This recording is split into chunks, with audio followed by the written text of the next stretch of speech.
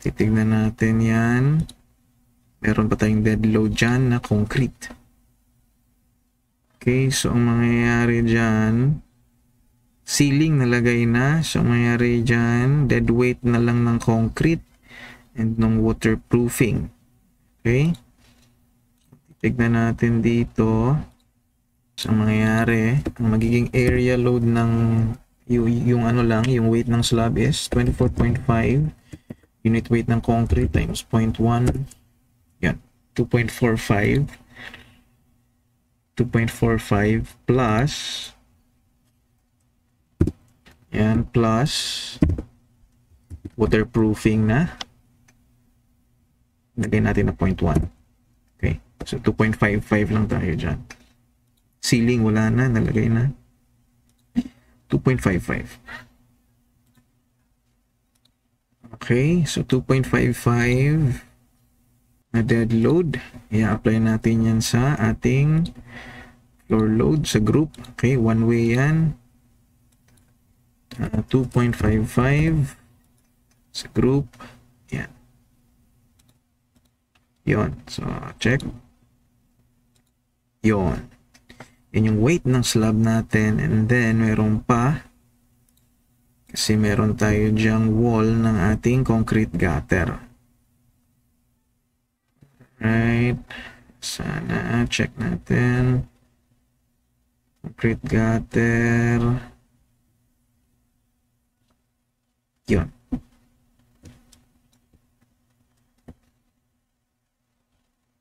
Okay. So, height natin dyan, effective height, 0.8. Okay, 0.8 and then 10 in, uh, 4 inches lang tayo dyan. So, dito tayo, yun.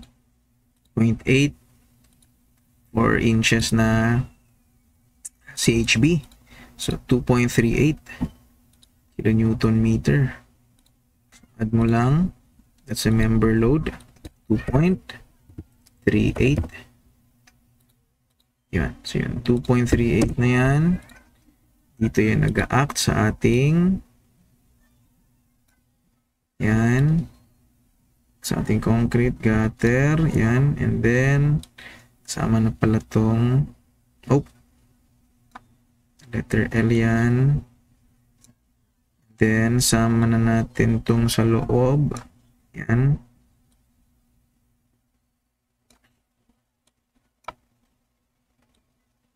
Yan. So, naka-enclose yan na concrete gutter. So, select. Assign to selected. Click assign. Yun. Yan. So, naka-enclose yan. Wall ng concrete gutter. And, meron pa. Kung titignan natin sa model, itong portion na to is concrete and ito pang ating roof deck. Okay. So, itong portion na to, height niyan is 3.15.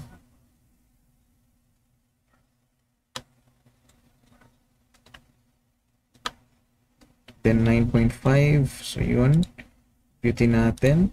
Yung magiging ito is 3.11 times area. So, equals yan times area ng wall na triangle na yon assume natin 1 half. Base times height. Okay. Okay yan na yung kill weight ng total na CHB doon. Yan divide by 9.5 yan yung ating kilonewton per meter. 4.9 Okay, so ito 4.9 pa tayo dyan. Both ends. So, dagdag ka na lang. Member load yan. 4.9. Okay, dito yan nag-act. Yan, and okay, di kasama yung dulo sa concrete gutter. So, ito selected, sign, yon. Then ano pa? Yan, okay na tong mga wall na to, yung flooring, yung concrete gutter. Next is concrete. roof deck. Okay? So, concrete roof deck, same lang na value sa ating concrete gutter. One way, ayan, 2.55. 2.55 na area, area load. So, mangyayari, ito gawin natin tong area load. Control G. Create tayo dyan ng roof deck. Okay floor, associate to selected, associate. Yan. Check. Yan. So, tapos dyan, mag-apply tayo ng area floor load na 2.55. Si concrete lang dyan and then tapping ka ng waterproofing. Okay? So, group, roof deck. Okay, two-way yon So, click add. Yun. Oops. Oops. 2.55. May na-miss pa tayo. Deck. Concrete. Load.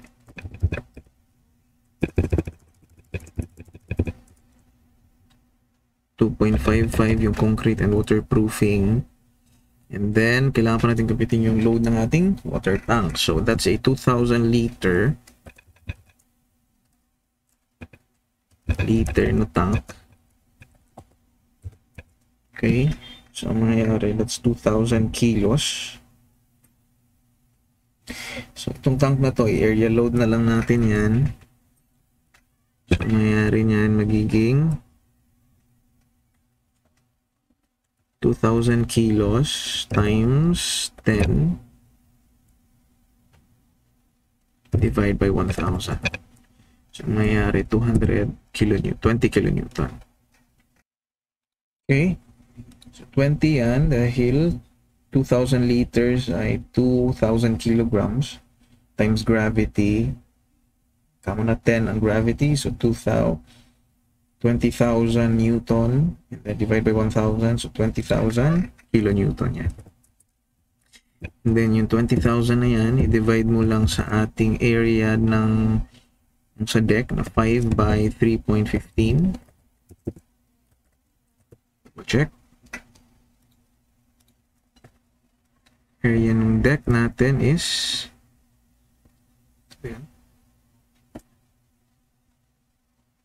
yun. Area ng deck is 5 by ito lang 3.15 5 okay tama lang.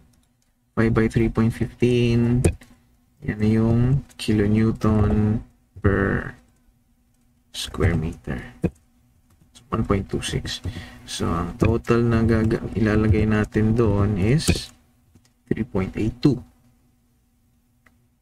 Okay, 3.82 pala to. Edit lang natin yan. 3.82. Change. Yun. Ayun. Okay na. Sa roof beam, ito yung deck. Consider natin yan. Then yung wall sa may left and right side. Then concrete gutter na wall. And then concrete gutter na slab. Okay, and then ito naman, point 2 is ceiling. Ceiling sa concrete gutter and sa buong sa buong floor na roof B, roof level. Then ito namang 1.41 is dead load ng ating roof. Okay. Live load is 0.3. Diyan lang yan nag-act. Is 3 kN per meter.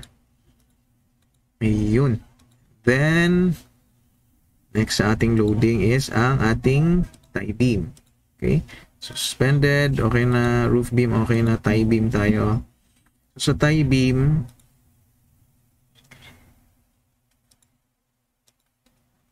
kayahin lang natin yung sa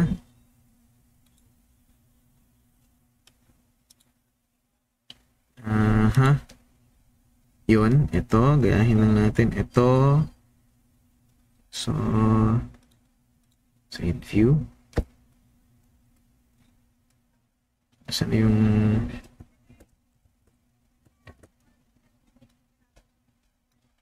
Yan. So, view selected.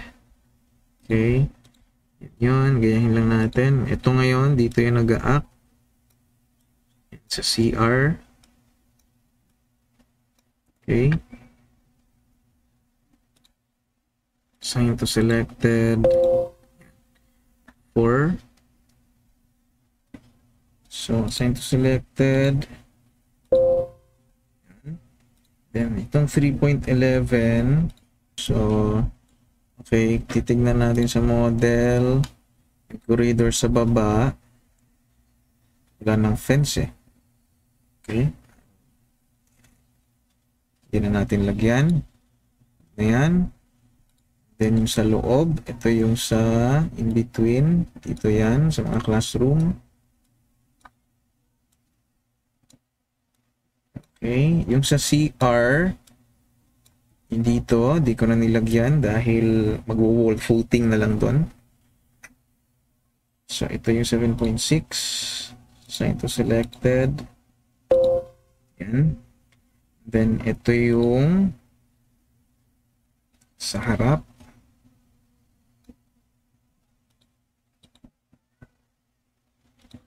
Yan. 4.48, assign to selected. Okay. Yun. Yan. Okay. And then live. Okay, wala na tayong live load dito sa roof. Ground level. So, yun. Okay. Ang stairs natin, Computing lang natin. Kasi malaki tong stairs na to. Yun. Okay. Typical naman yan. Ang mangyayari, since meron tayong mid landing, okay. So, sa mid landing, yung makikarry lang ng ating beam sa taas. Nasa yung section ng stairs. Section, section. Yan. Yun. Meron tayong mid landing, mangyayari ang, ang kinikerry lang nitong beam na to is itong itong half nitong stair na to. Okay? So yung half nito is dito na sa kanyang landing. Then ito half. Actually, full ang makikerry nito kasi half nito and half nitong sa taas. Okay? So, bilangin natin. 1, 2, 3, 4, 5, 6, 7, 8, 9. 9 half is kamo na 5, kamo na 10 steps. 10 steps. Yung i lalagay natin. Ito. 9 yan. So, half, half. 10 steps. Okay. Tapos yung width niyan is So, computing natin yung stairs. Stairs. 10 steps. Okay. 10 steps times width niya is 1.575. Okay. Tapos, yung area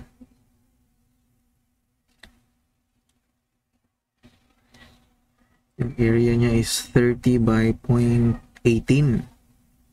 Okay, assume na lang natin 30 by 0.18.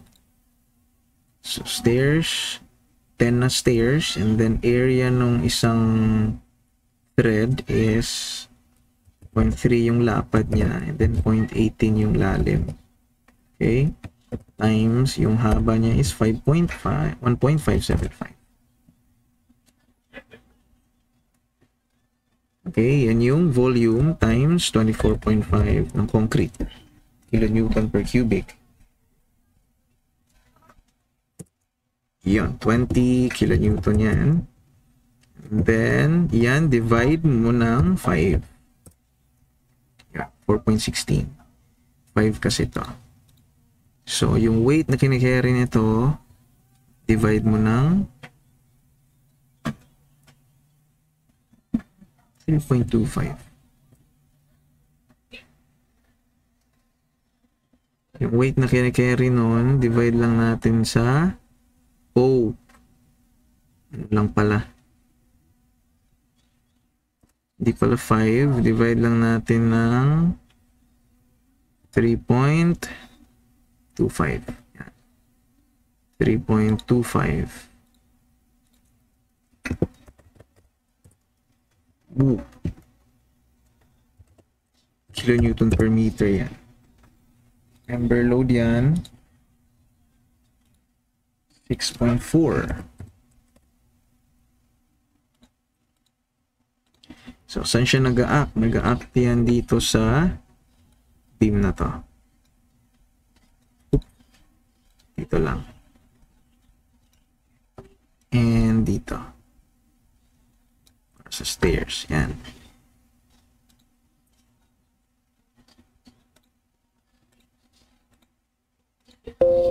Iyon. Okay. And then sa ground,